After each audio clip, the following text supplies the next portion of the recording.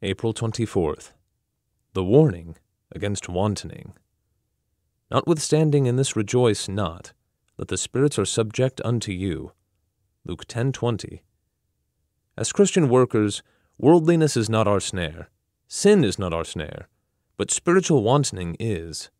Taking the pattern and print of the religious age we live in, making eyes at spiritual success, never court anything other than the approval of God. Go without the camp, bearing his reproach. Jesus told the disciples not to rejoice in successful service, and yet this seems to be the one thing in which most of us do rejoice. We have the commercial view. So many souls saved and sanctified. Thank God. Now it is all right. Our work begins where God's grace has laid the foundation. We are not to save souls, but to disciple them. Salvation and sanctification are the work of God's sovereign grace.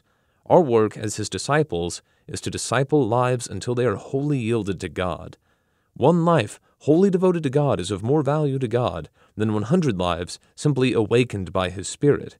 As workers for God, we must reproduce our own kind spiritually, and that will be God's witness to us as workers.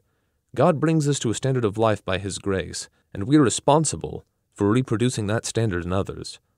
Unless the worker lives a life hidden within Christ, in God, he is apt to become an irritating dictator instead of an indwelling disciple.